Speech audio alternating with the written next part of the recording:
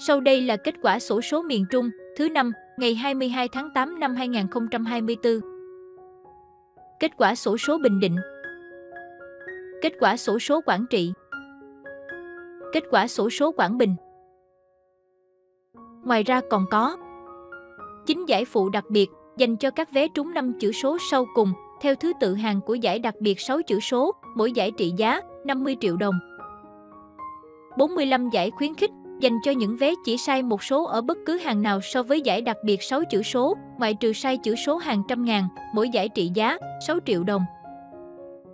Lưu ý giải phụ đặc biệt, tức là giải dành cho các vé trúng 5 số cuối, chỉ sai số đầu tiên, giải khuyến khích là giải sai một số bất kỳ, ngoài sai chữ số đầu đã là giải phụ đặc biệt. Nói một cách khác, giải khuyến khích là giải trúng con số đầu tiên và sai một trong năm con số còn lại của giải đặc biệt 6 chữ số. Ngoài ra, các vé trùng nhiều giải được lĩnh đủ giá trị các giải.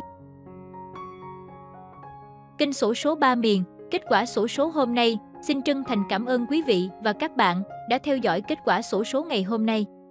Nếu thấy thông tin đáng chú ý, hãy bấm nút đăng ký và ấn phím chuông để nhận được thông báo cập nhật kết quả sổ số mới nhất. Và đừng quên bấm nút thích bên dưới để ủng hộ kênh phát triển hơn. Chúc mọi người sẽ được thần tài gõ cửa trong một ngày gần nhất. Mến chào và hẹn gặp lại!